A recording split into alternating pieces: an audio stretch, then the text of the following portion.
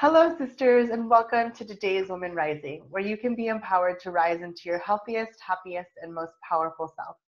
Today we have with us Candice Oneida. Candice is an international speaker and is Australia's number one feminine success mentor. Her background in corporate Australia for 13 years and then starting up five successful companies with up to a million in annual earnings led her to the realization that feminine principles were sadly lacking in the business world. Candice has personally taught over 100 workshops and worked with over 2,000 women from around the world on the topics of self development, meditation, and feminine power. And today, Candice is going to be talking to us about discovering our real desires to get what we want. Welcome, Candice. It's an honor to have you with us today. Oh, and it's an honor to be here, Kiros. Thank you so much for inviting me. I'm very, very honored to be here. Definitely, definitely. Um, so I absolutely love your work around desire.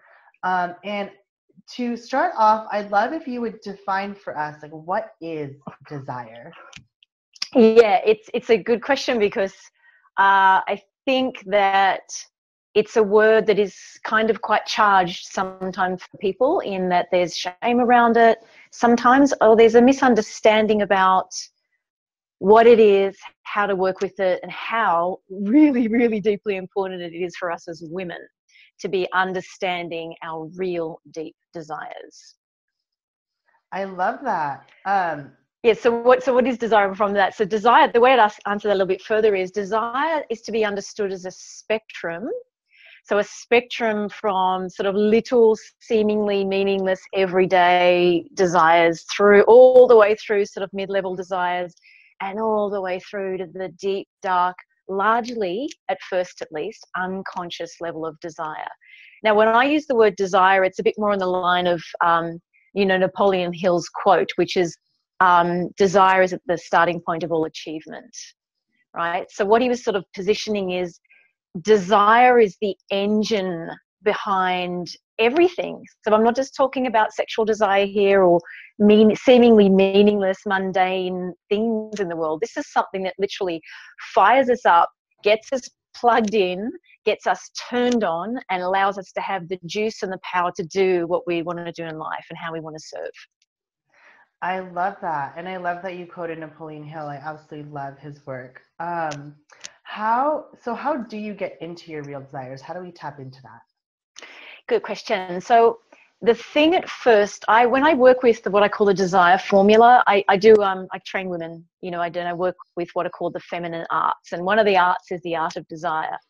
And there are three aspects to desire that in my experience and my observation in my life and working with, you know, women from all around the world, there are three things that we need to cover. And so, and I call it the desire formula. Now, the first one, as I was mentioning a little bit before, is the, the desire spectrum.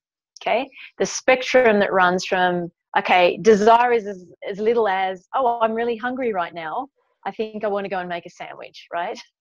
So, if you know anything about Maslow's hierarchy of needs, um, he's created this pyramid where at the very bottom of the, the pyramid of needs or wants or desires are what are called the, the needs for survival, right, and safety. They're the very basic foundational fundamental levels of desire that if we don't have those in our life then we can't really start to talk about love and purpose and self actualization, which are the higher levels on Maslow's hierarchy of needs and desires, right? And so we need to first understand the desire spectrum. So this little, I need a sandwich now, through to, oh, okay, I have these goals. I have this wanting to, to be successful. I want to get a really nice house. I want to have a great relationship. I want to, you know, do good things in the world. All the way through to where we start to hit on what I call where the rubber hits the road in terms of understanding the desire spectrum. And that is the deep deep levels of desire. Then, when we start to think and want and talk about uh, our purpose, our sense of mission, and when we start to talk about the things that we either neither really even admit to ourselves or think about, uh, but they're important to dive into, to dig into, and to discover in order to actually get all these other desires met. And I call this the hidden level of desire or the unconscious desires. So, needless to say, in our time together today, where I'm going to sort of give you an idea about what this is, but to get to this end of the spectrum, the deeply unconscious, juicy, deep level of desire is a process and it takes, you know, takes some coaching to get through to that level. Now, the reason that we, uh, the way we do that is the second thing, which is called desire digging or desire mining. And then we have to dig down through these levels in order to get to the unconscious levels. Now, I think another thing, and you're asking me sort of what is desire, and I think one of the other things to um, sort of get a, an elephant out of the space, I call it. Let's get this elephant out of the space that speaking about desire can often come off as something that seems like it's sort of selfish or self-centered like i want to understand my desires i want to get my desires it's all about me me me the opposite is true when you actually have the courage and the the fortitude and the you know the, the the willingness to go very very deep into your desire you discover a boatload about yourself. You're going to discover things that you didn't know and you're going to discover these hidden depths of yourself that are really the place one from which you can actually really give and serve and live your purpose and two from which you actually get in touch with the very power source as in the juice to actually do the mission and do the rest of your life. So it actually takes courage to go that deep and to uncover these hidden depths. Now you might want to ask me a question. There the third level is called desire setting and we can cover that uh, in a little bit of uh, in a second if you like. But the third level of the desire formula is desire setting which is desire setting is to the feminine what goal setting is to the masculine and it's a completely different process excuse me than how we have largely been taught to goal set as women and most of the time it's my observation that when women goal set they set themselves up for disappointment and they set themselves up to burn themselves out and to end up exhausted Wow, I love that. I love the difference um, between goal setting and desire setting. I never thought to look at those two. Um, now you mentioned, um, well, let's go a little deeper into that. Like, what sure. is desire setting versus goal setting? Yeah, yeah, it's it's an important one. It's one that I really discovered because of coaching so many women around the world. They'd be sort of, you know, we do we doing sort of previously. I used to do normal sort of goal setting things, and then they'd be talking to me about the goal, okay that'd be the goal and then we'd we'd look at their life now right and what i observed is there's this giant gap between where they are now and what they wanted. Now the gap uh, we sort of think okay well that's normal. Okay people are here and they want to get here. But the problem with the gap is the way in which they were being taught to go from a to z.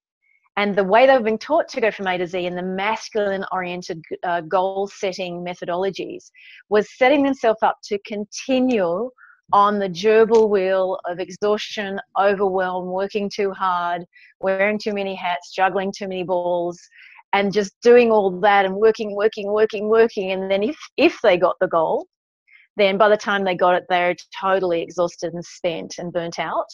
Or what it really set them up to do was continue this, this sort of methodology of struggling and uh, striving and overwork that actually kept moving the goalposts, right? So the goal just kept moving out because the reason why I discovered the concept of desire setting is they hadn't set up inside themselves, they hadn't embodied the uh, the the goal. They hadn't landed inside themselves what it was going to feel like to achieve the goal. And I'm going to repeat that because this is an important distinction for women with regard to goals because women set goals differently than men do, or for, I should say, for different reasons than men do, largely. Of course, I'm doing big um, statements here. But largely, women set up goals because of the way they want to feel when they achieve the goal even if they set some sort of financial goal, it's because they go, ah, oh, okay, if I reach that, you know, half million dollar mark in my business or whatever, I'm going to feel X, Y, Z.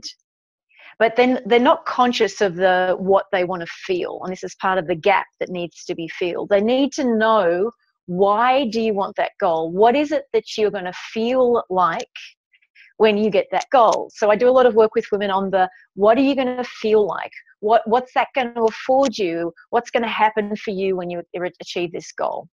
And then basically desire setting is this process of reverse engineering goal setting such that they are so embodied and so clear on how they want to feel and what that's going to allow them to give and to serve with when they reach the goal that they're embodying it now at the beginning of the cycle in such a way that even though we still have to take steps to move forward in time, they are actually embodying the conditions as in it's in their body. They've incarnated. They are living the conditions already such that the goal ends up being inevitable and sometimes way sooner than they thought. I love that. That's yeah. really really incredible. I love that perspective shift that you're sharing around um, goal setting and our desires. I think it's really powerful. And you know i definitely recognize in myself that oftentimes like what what I feel is going what feels good is going to be what I do. Um, like I mean, I'm a health coach, and I even tell my clients like if it feels good for you to stop the alarm and not go to yoga, you're going to do that versus get up and go to yoga. So I love that you, um, on a macro perspective, are applying that to like all of our all of our goals in general. Yeah. Um, so that's really cool. And then um, you had mentioned um, the desire spectrum earlier. Can you explain a little bit about that? I'm really curious to know um, what the desire spectrum is. Yeah, well, I mean, the desire spectrum is understanding and broadening also what I think people think of as desire, right? So we could we could define desire outside of it just being around sexual desire, although this is important for women and I will talk about it, as what you want. Okay? So we could say the engine, if you like, of desire is really about what you want. So, you know, when Napoleon Hill quotes, um, desire is the, is the foundation of all achievement, he's saying that without it, there is no engine, there's no fuel, there's no power source from which to move you forward toward the achievement, right?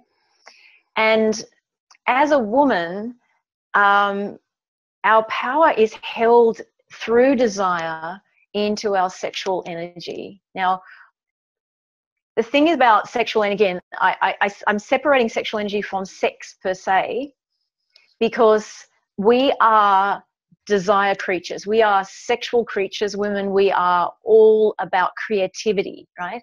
So we are we birth babies for god's sake i mean we literally have this whole system that is built on creating things right and it creates from this know-how that we have in our body in our womb in our pussy and so getting to the point where we go from i'm hungry and i want a sandwich through to the other end where you allow yourself to have the courage and the, the, the sort of investigating kind of spirit to go well what do I really desire?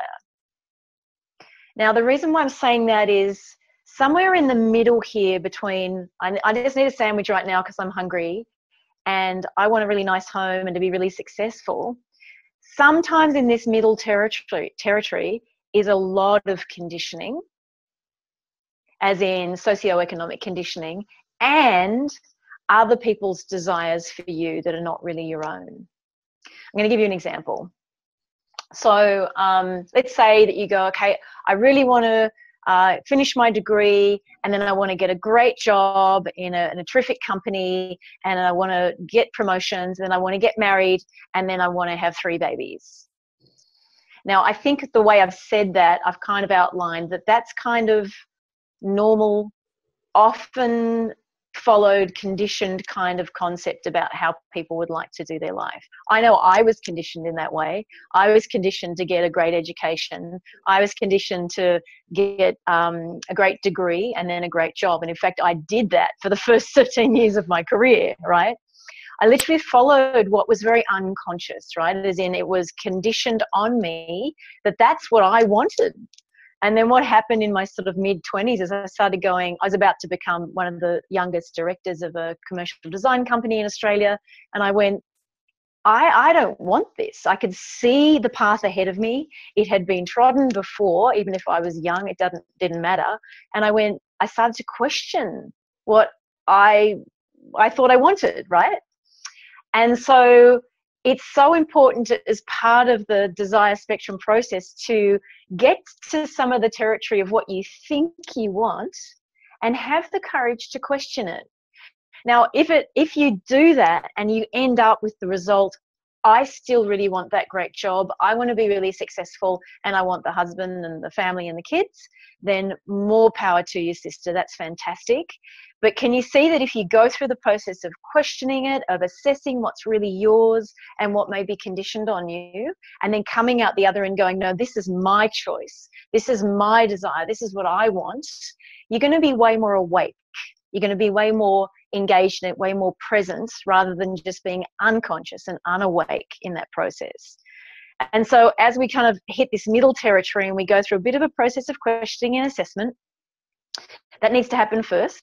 And then you can start to go, okay, well, what happens when I start to go really deep dive digging, mining for what other deep desires might be. And this is where, you know, as women diving into your sexual desire, diving into the things that you want sexually is a really, really juicy and powerful process.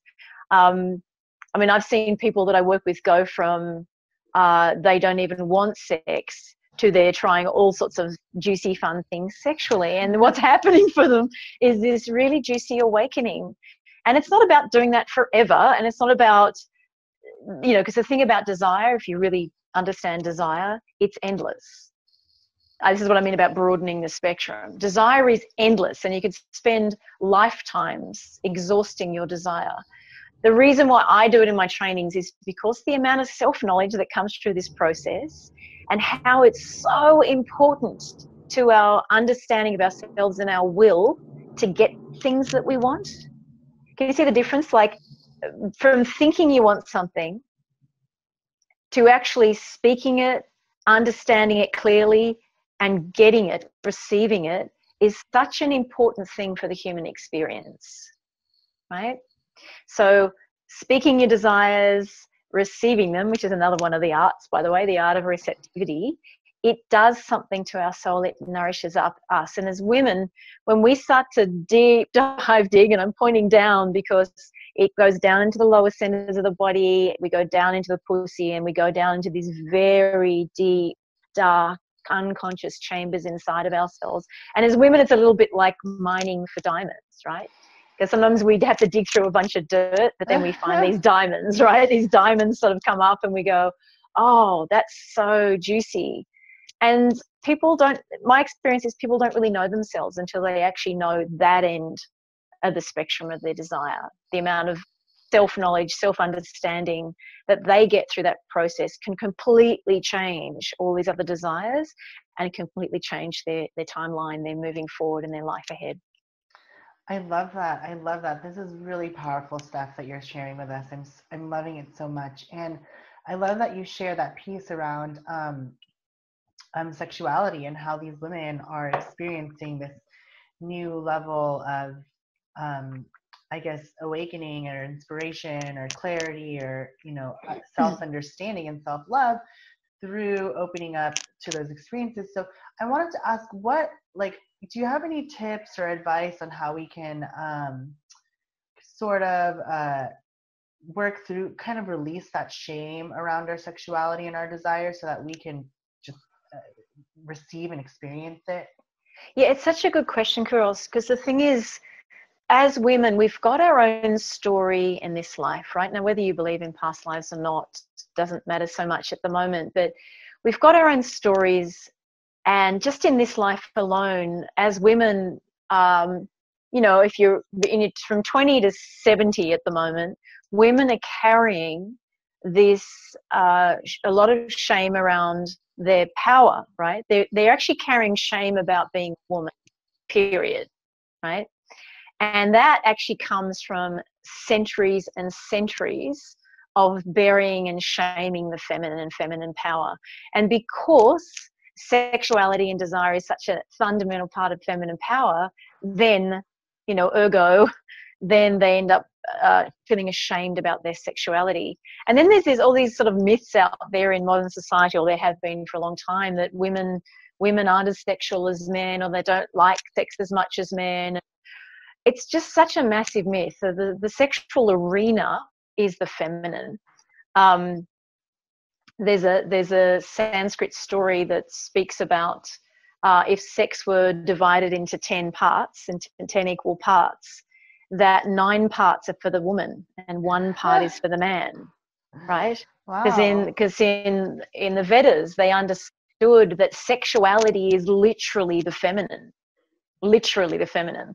So for me, when a woman is out of touch with her sexuality, she goes, "Oh, I'm too old for that now," or "I'm over that," or "I don't like sex," it's like, "Whoa, sister, this is a huge indication that you're out of touch with your feminine power."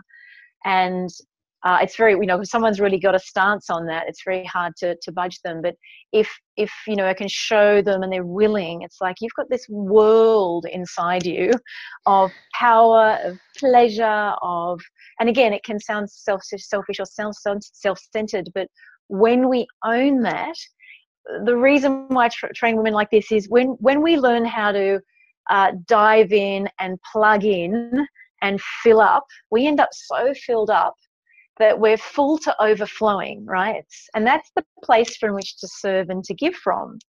And yet, so many women who are in the shame or the the um, the selfless category, they think they're being selfless by putting everything in front of themselves.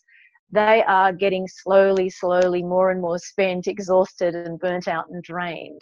And I can tell you, I've got horrifying statistics about women's health since the 1960s um, that for me are a massive indicator that you've got women sort of from the 60s that went from being um, uh, largely sort of domestic, right? And then we started to enter the workforce. And then from the 1960s, I'll just give you one of the statistics. So since the 1960s to today, there's been a 60% increase in female specific cancers. Wow cancers of the breasts, cancers of the ovaries, cancers of the cervix. We are hurting ourselves by being in our masculine all the time. So what we taught, mm. were taught is, okay, we were domesticated prior to the 50s, and then we went, but I need to rise up in my power. I want to feel powerful. And the only paradigms we had in the world at the time to be powerful were, oh, well, let's go and work. Let's become corporate. Let's prove to the world that we are as smart and as capable as men. And we did that, right? Women completely did that. But the unfortunate side effects of the sexual revolution is that women became powerfully masculine, not powerfully feminine. I love that. I love that. I'm reminded of I can't remember where this is from, but this this quote about how um, it, it it it's yes, it is feminine. It is empowering to be success a successful woman in a patriarchal society, but that doesn't necessarily mean like, you know, what that's that might not be the direction we want to go. We might actually want to shift it so that it's, you know, right that they're on equal balancing and you know just necessarily being super successful in this masculine patriarchal culture doesn't necessarily make you a champion for feminism even though that is still a great aspect of feminism, I'm not knocking anyone who, who is that. Exactly, I'm the same. It's but, just the evolution. There's an evolution yeah. from the feminist movement of the 60s and the sexual revolution. Because, you know, like uh, the Dalai Lama quoted himself, you know, he quoted that the world will be saved by the Western woman, right? Mm-hmm. That was a mm-hmm. famous quote by him. And what I understand him to mean by that is that the world is desperate and hungry for feminine values, and it will be women that lead that, right? And so the, the revolution of our modern time is well, what does it mean to be successful and powerful from our feminine, mm. not from hmm. our masculine? Mm-hmm. What does that hmm. mean? What does that feel like in our bodies? And how does that look different to the pre existing masculine paradigms that we uh, so far have experienced power and success through. I love that. I love that. Um, and you know, I I I encourage, I definitely encourage, um, you know, our sisters watching that might be more um, more used to being in their masculine to survive in this world, what it would be like to, you know, be in our feminine. So um, I love I love that this is coming up in this conversation so that, you know, this is something we can shift with uh, with amazing sisters in the in the audience watching. Um, and I wanted to go back to desire.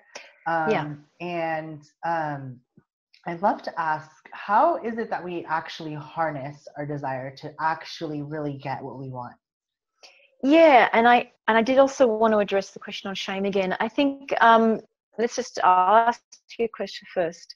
So the harnessing of the desire, got a bit of an image of putting a saddle on a horse there, which is not a bad image actually, or a bad bad metaphor for desire, because it's a little bit like something that we have between our legs that's really powerful and we need to learn to actually ride it right um, it's not that that bad a metaphor. So and yet you know the thing about that wild horse and that the, the the power of that part of ourselves first like if you were literally to break in a wild horse it would not let you put the saddle on it. It, it wouldn't let you near it. It wouldn't let you touch it. So often what happens is when people first start to sort of go near their desire, the true wild horse, the force of it, is kind of disinterested in them because it's it's kind of going to them. Frankly, your life's kind of boring to me. You know, you're doing what everybody else is doing, and I'm not that interested in you. so at first, desire is a bit antagonistic. You know, the the real power is a bit antagonistic to us, and yet it's a development of a relationship that happens where if we go back to the we're breaking in the horse, you slowly start to you know, keep going out there, you keep engaging the horse, you feed it a little bit, you talk to it, you get to know it. And this is not a mental process, by the way. Real desire is something that is felt, it's feeling based, it's uh, gut feeling based, it's knowing, it's intuition, it's all of these core experiences of the feminine that will be the things that will arrive you at the destination of knowing your desire, right? It's not thinking. I think I want is probably the conditioning. I feel I want is something else. I have this concept in my uh, powerfully feminine intensive trainings. I'll get my women to do this exercise and I'll share it with you now. So what I'll get my women to do is go, okay, so it's it's, it's lunchtime now, and um, you're going to ask head brain, I call it, you're going to ask head brain, what do you want to do right now? And head brain will go, I want to go for a drive and I need to go and do the grocery shopping, right? And then I go, okay, now let's ask pussy brain what she wants to do. And invariably people will go, oh, pussy brain wants something totally different. So I use this concept to illustrate the difference between thinking and the ordinary mind or the ordinary mental consciousness and the feeling and the getting into relationship to ourselves, our power, our desire at the lower level. There's actually statistics around um, at the moment. I don't have them on me at the moment around the second brain they're starting to talk about, and they speak about it in the gut, which of course the scientists are probably men and they think it's a gut thing. Uh, but there's actually energetically so much wisdom in our lower centers. And they've studied this say, in Taoism for 8,000 years, where they do the work on longevity and health and sexuality. And of course, in uh, a lot of the Indian practices, there's practices where that include you know the kama sutra you know it's included as a spiritual practice because the circulations of energy that come when you start to tap into that force are so powerful. And they can be turned toward the divine or they can be turned toward the partner or they can be turned toward a creative or a business endeavor. I love that. Thank you for sharing um, pussy such, brain. Yeah. I've never heard that before and it's definitely going to be fun to explore what she wants. yes. um, um, and um, you said you had uh, you had another piece to share around shame. I, I, I, wanted to I wanted to continue with that or, or address it a bit further. I think, Chris, one of the, the important things as part of getting into feminine power is firstly to realize that you're not alone. a lot of the shame piece that I sort of started to speak about is held by all women at a very body level. I mean, just a couple of hundred years ago, ago we were being burnt as witches, right? So if we had any power as healers, um, or, or, vision. We had vision, or we were prof, uh, were, were, oracles or whatever. We were for for years. We were literally destroyed for our power. So there's a there's a there's a word in Sanskrit called samskara. It's not samsara. It's a samskara. We've got this global wounding of the feminine, and so it's important that we share this. It's important that we come together. It's not like we're going to spend years moaning about losing our power. It's just, it's important to recognize this is a globally held thing for women. And so, together, in the line of the Dalai Lama's quote, together we come together to encourage each other back toward our power, back toward the feminine. Um, it's not something that you're supposed to do alone. It's not something we need to do alone. And in line of the shame piece, if you have stories from this life that you need to share with someone or work with a therapist or coach about, then those things can be worked through. They can be addressed and they tend to be quite personal there. And when those charges or samskaras or wounds get moved out of you, it then sets you up to be able to be, be more comfortable and feel safer to actually dive back into your desire and own and love and dive into your own body and desire again. Yeah.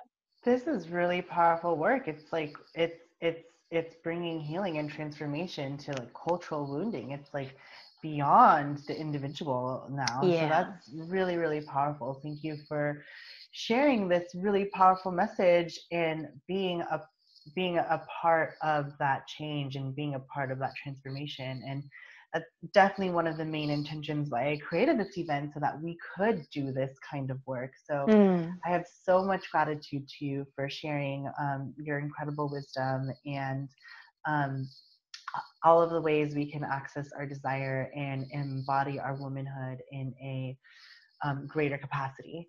Um, I know that you have a free gift for our sisters. Um, I'd love if you would share a little bit about that with us. Yes, sure. I'd love to um, offer you listening to this today. Uh, I've created a quiz uh, called the What's Your Desire Archetype Quiz. It's super fun, super revealing. It's just 12 little questions that you can jump online to take. At the end of which it will it will show you your very own desire archetype. And that is the first phase in self discovery as to where you're at now. And then what you're going to be um, offered when you sign up and you put in your best email address, an email will be sent to you with a link to direct get another free gift, which is called the Feminine Archetypes Blueprint. And in that 15 page document, you're going to actually have a look at all of the feminine archetypes. You're going to see where you are in that. And so you're going to be able to see how you can evolve toward the next archetype. Now, the feminine archetypes, uh, in my trainings, I, I speak a lot about the difference between false feminine and true feminine and false masculine and true masculine, uh, partly because I think the understanding of feminine and masculine is completely misunderstood, and that sometimes people relate to the lower or the immature or the false levels of both of them. And what we're trying to do is evolve into the true and the mature feminine and masculine archetypes. And so that's two free gifts for you. So try it out. It's really fun. Um, I look forward to to serving you further moving forward in any way I can. Awesome. Thank you for sharing those amazing gifts. They sound so wonderful. I can't wait to explore them. Um, and how can all of us stay uh, better in touch with you? Yeah, oh, a good way to do that would be to go to powerfullyfem.com uh, P-O-W-E-R-F-U-L-L-Y fem.com. And the quiz is powerfullyfem.com forward slash quiz, right? So you can go to that to quiz. You can jump there on there. You can find out a bit more about what I do. You can contact me if you'd like to. Well, wonderful. It was a huge honor to have you with us here today. And um, thank you for sharing your wisdom with us. Um, thank you, Chris. Yeah, it's been course. lovely to work with you, and I'm very honored to be here today and grateful. Thank you. I appreciate it. And you enjoy the rest of your day. And thank you, all of the sisters watching today's interview. Um, stay tuned for more and uh, have a beautiful rest of your day.